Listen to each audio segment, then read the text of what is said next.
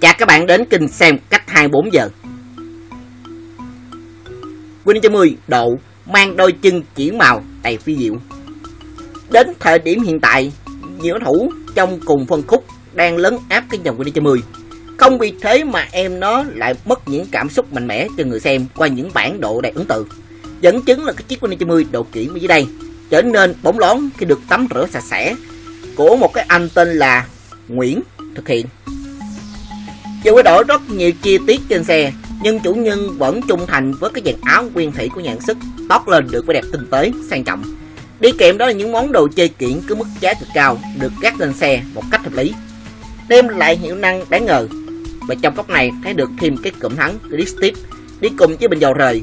Để gắn hoàn chỉnh thì chủ xe phải khoét phần nhựa rất nhiều để khoảng cách phù hợp với hai phía tay lái và bao tay domino kết hợp cùng với cục titan để cho tóc nhanh hơn thì chủ nhân cũng đã trang bị cụm tăng tốc domino với trình ca được rút khá đáng kể. Mặt nạ với cái biển số trước titan hướng đến phong cách từ indo. Và như tiêu đề mình nói đến, chủ xe đã sơn là cái mâm, cái màu titan là cực đẹp. Trong mỗi góc nhìn, nó sẽ chuyển màu khác nhau. Sẽ có những cái điểm giao nhau ở tím, xanh dương. Hệ thống phanh được nâng cấp cũng mạnh mẽ với đĩa Flexible kết hợp cùng heo dầu phanh đồ qua cái sự hỗ trợ phát nhâm xi kèm từ máy đi kèm dầu S tất cả những chi tiết đều được cố định bằng ốc roti Giá góc này được chủ nhân đã trang bị cái chống đổ xào để tối ưu hóa cái việc xảy sát cái việc xây sát khi ờ, qua quẹt. Hệ thống cái giảm sức sau của Holin bình dầu trên những im ái hơn, cũng như tăng được cứng cấp cho xe. Đây là mẫu cuộc đồ chơi mức giá cực cao. Nó còn là ao ước của rất nhiều người chơi xe khi đáp ứng được cái độ nhún nhảy hợp lý trong mọi loại hình. Đĩa tải nhôm CC ống ánh cái gam màu bạc.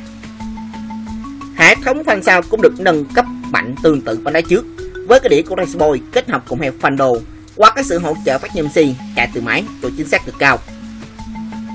Và đây là toàn bộ chi tiết cố định cái phần lốc máy ốc roti tót lên được cái sự sang trọng.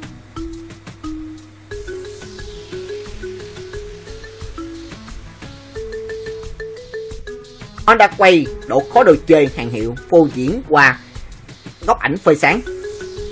Sau hơn 15 năm có mặt ở thị trường Việt Nam thì cái chiếc Honda quay đã lấy được rất nhiều tình cảm người chơi ở Việt Nam. Bằng chứng là đến thời điểm hiện tại có rất nhiều con quay alpha đời cũ vẫn được săn tìm nhiều nơi và giá thành cũng là tương đối khá cao so với những mẫu xe khác ở trên thị trường. Khoét trên mình một dàn áo bạc lịch lãm thể thao, chủ xe còn tinh tế tạo điểm nhấn màu sắc cho con chiến mã của mình bằng vàng chân mang cái màu vàng gần gũi.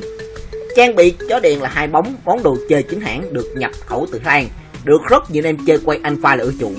Và trong nhiều năm qua, ngoài cái đẹp âm tiềm ẩn thì cái dòng sản phẩm này cho ánh sáng là tốt hơn nhờ vào cặp bóng halogen. Cái phần bình dầu Disinsin tạo một kiểu dáng là phá cách tẩy đi cái phần là nắm bình và được cố định bằng hai ốc kiểu cái màu xanh và chân kính được che đậy bằng một cái ốc roti đi kèm một cái chụp cao su chống bị tháo chậm khi gửi xe. Trang bị tay thắng CC tích hợp là 6 cấp tăng đường và tạo cái điều kiện phù hợp với kích thước tay sử dụng khi đeo cái bao tay. Và trên thân tay thắng còn có trang một rãnh nhỏ giúp cho luồng gió qua vô cùng là cái học. Tay thắng này phải đi kèm một cái bản lề CNC nên có dụng được là đa dạng cho những dòng xe. Chỉ còn chọn đúng cái bản lề thích hợp. Trang bị cho lực kẹp cổ làm nhiệm vụ giữ vững đầu xe, chống tình trạng xe lắc cho độ cao. Vì đây là món đồ chơi chế thêm nên người thợ phải canh chỉnh vô cùng vất vả, vừa đảm nhận được khả năng vận hành còn phải nhìn sao cho thẩm mỹ nhất. Vì có nhiều chiếc xe không thiên về mặt tốc độ quá nhiều nhưng vẫn muốn lắp cái trợ lực để làm kiển. Nhìn xuống gian chân trước thấy được cái sự cơ bắp trong từng chi tiết. Phay cái heo của dầu Nissan Hybrid được rất nhiều dòng xe ưa chuộng hiện nay. Kèm đó là cái đĩa gaffer ở trước cùng thất lòng CC và vài chiếc ốc chữ trắng. Chỉ dùng cái niềm nhôm SL vàng cái chữ đỏ Điền này khá hiếm ở Việt Nam, rất khó tìm. Sản phẩm này có mức giá thành cũng rất cao, nhưng bù lại người chơi xe được trải nghiệm một cái sản phẩm là khá đẹp, bao cứng cáp và trọng lượng rất nhẹ hơn so với sản phẩm khác đang có ở trên thị trường.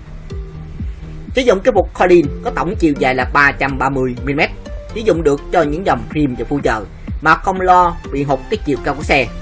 Cái độ nhúng và độ nảy của phuộc là hoàn toàn có thể kiểm soát, chứ không nảy một cách theo quán tính và đàn hồi của lò xo như những loại phụ khác tạo một cái khoảng thoải mái cho người điều khiển xe.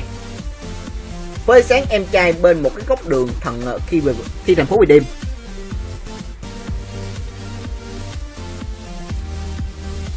Cảm ơn bạn dẹp này là cái tiếp nhớ like, subscribe.